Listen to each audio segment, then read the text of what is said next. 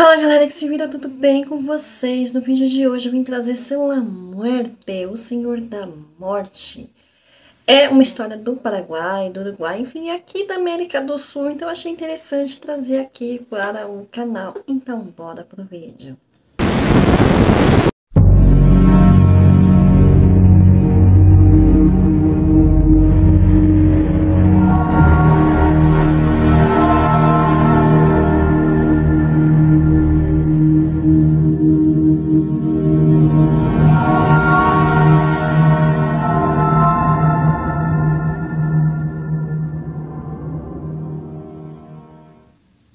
E sejam todos muito bem-vindos a este canal. Se você for novo ou nova por aqui, por favor, se inscreva neste canal, curte, comenta, compartilha, ativa o sininho de notificações que é para você saber quando que tem vídeo novo. O meu nome é Maria Cláudia e este é o canal Depois dos 30 a gente se vira.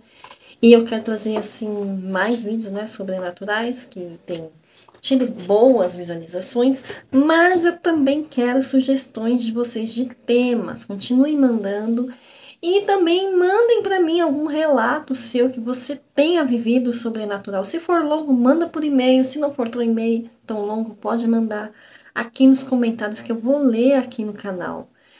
São a Morte, o Senhor da Morte. Peguei lá do site Mundo Sombrio, vou deixar o link aí na descrição. São La Muerte é um popular santo pagão venerado no Paraguai, no nordeste da Argentina, principalmente na província de Corrientes, mas também em Missões Chaco e Formosa, além do sul do Brasil, especificamente nos estados do Paraná, Santa Catarina e Rio Grande do Sul. Ele também é conhecido como Senhor da Boa Morte, Senhor da Morte não deve ser confundido com a Santa Muerte, santa popular venerada no México, que apesar de possuir, apesar de possuir rituais e poderes semelhantes, é uma santa à parte. A origem. A origem de San La Muerte remonta à época das missões jesuítas do século XVI Conta a lenda que este santo foi um monge franciscano ou jesuíta que curava as pessoas de várias enfermidades, principalmente de lepra. Como ele atuava independente da igreja, ele acabou se tornando cada vez mais popular. Seus superiores lhe advertiam inúmeras vezes para não fazê-lo como ele não pôs fim nas suas atividades, ele acabou sendo preso e, em protesto, se manteve em jejum, em pé, dentro da sua sala. Cela, aliás, desculpe. Após um certo tempo, ele foi encontrado falecido na mesma posição em que estivera Jesus jejuando, já completamente esquelético, vestindo seu manto e um cajado que usava para caminhar. As representações de La Morte, mais a figura clássica, é de um esqueleto humano de pé com recursos simples, minimalistas. O esqueleto geralmente carrega uma foice, em alguns casos com gotas de sangue na ponta. Outras representações incluem um esqueleto, um esqueleto em pé e sem uma foice ou sentado em um caixão. Gente, está me parecendo muito a própria Dona Morte também, que conhecemos já por aí do folclore popular. Suas esculturas podem ser esculpidas em madeira, ossos, metal, especialmente balas, e geralmente se situam entre 3 a 15 centímetros de altura. O aumento dos poderes é atribuído às esculturas que são triadas a partir de materiais de origem significativa, como a falange do dedo mindinho, um osso de bebê falecido, as madeiras retiradas de um caixão de uma pessoa falecida ou um crucifixo que pertence a alguém falecido recentemente. Outras matérias comuns, matérias-primas mais comuns, incluem madeira de cedro. De acordo com os crentes de San La Muerte, a escultura, a fim de ser capaz de conceder favores, precisa ser consagrada por um padre católico sete vezes. Se essa escultura é esculpida em osso de um homem católico, ele só precisa ser consagrado cinco vezes, pois o osso já foi consagrado outras duas vezes. Para obter esculturas abençoadas, os fiéis recorrem a subterfúgios, tais como esconder uma imagem dentro de um santo convencional quando um padre abençoa a imagem normal, considera-se que a outra também foi abençoada. Olha que truqueiro! O cara coloca uma imagem dentro da outra imagem para que ela seja abençoada. Olha a esperteza do povo. Além das esculturas que são normalmente mantidas em um altar ou em um lugar fixo em casa, há uma série de formas pessoais do ritual que envolvem representações na forma de amuletos e tatuagens, ou no corpo, sob a forma de entalhes inseridos sob a pele do fiel. Tatuagens, amuletos e inserções do corpo ofereceriam proteção especial da morte, evitariam lesão corporal e prisão.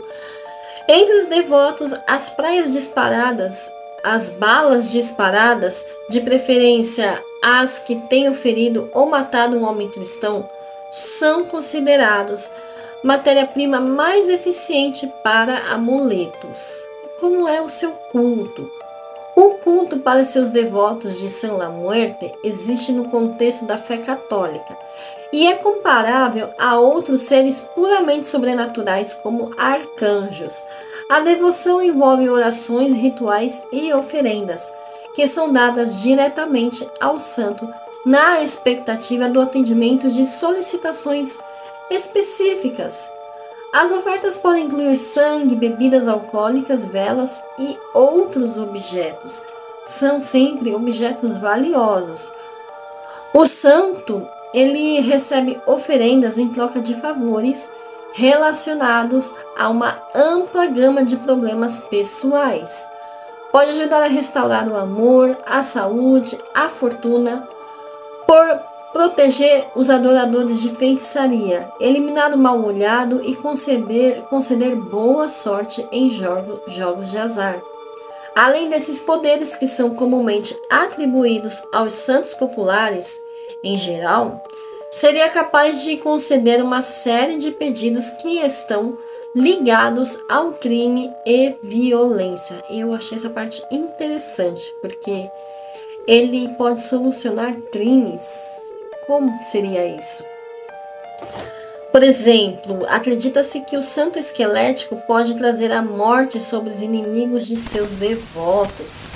Podem impedir as pessoas de serem enviadas para a prisão e ainda encurtar a prisão de detentos, além de ajudar na recuperação de itens roubados e desviados. Sua devoção é caracterizada por um código moral que deve ser plenamente obedecido.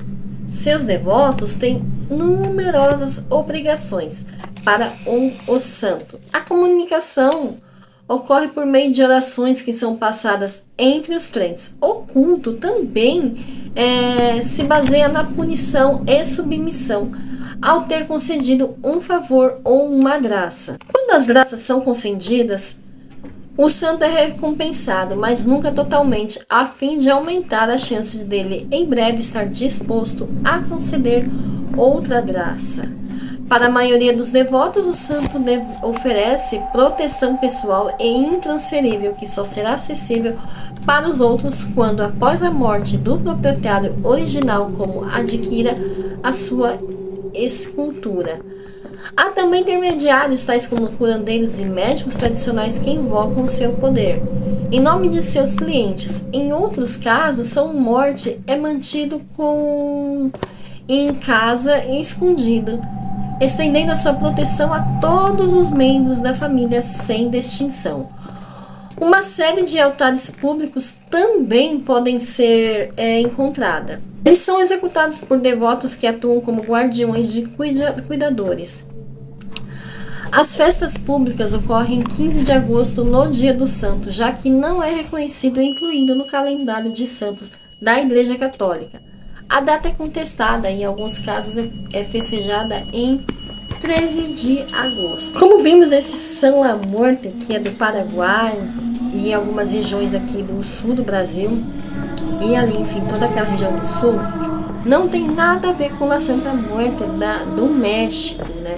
E ele, eu achei ele ambíguo também, porque ao mesmo tempo que ele protege criminosos, ele devolve é, produtos é, que foram roubados, isso eu não entendi direito, mas é, e se quem foi preso roubou, ele ajuda aquele que foi preso que roubou, enfim, não consegui entender essa parte, porém eu compreendo né, que as pessoas é, tenham essa devoção, afinal, é, geralmente são pessoas que são oprimidas pelo sistema e acabam buscando uma forma de recompensar essa situação para que eles também possam é, ter uma proteção divina, né? É como se Deus tivesse sido negado aos mais pobres e aos, digamos, fora, fora da lei, mas não estou dizendo que Deus negou essa pessoa, é como se a sociedade é, impedisse que essas pessoas tivessem acesso a um Deus e eles acabam encontrando um Deus para si mesmo. E aí, você acredita mesmo? Eu não sei se acredito, porque eu fiquei imaginando, tá? Então ele entrou em jejum e ficou em pé até morrer de fome. Quanto tempo leva para morrer de fome? Ficar assim, em pé. Então, assim, não sei. E ainda diz o relato que a pessoa que foi procurar por ele dentro da cela ele já estava em forma de esqueleto. Então também é um pouco fantasioso, mas não é, vou dizer que é impossível, que eu não acredito de jeito nenhum. Não acredito, mas também não desacredito. Enfim, não dá para saber até onde é real e onde é fantasia do povo. Fica difícil, não é mesmo? Muito obrigada por ter assistido até aqui. Se você gosta desse tipo de vídeo, põe nos comentários o tipo de vídeo que você gosta e o que você quer ver aqui no canal para que a gente possa trazer e compartilhar aí com vocês. Muito obrigada por ter assistido até aqui. Um beijo e até o próximo vídeo. Tchau!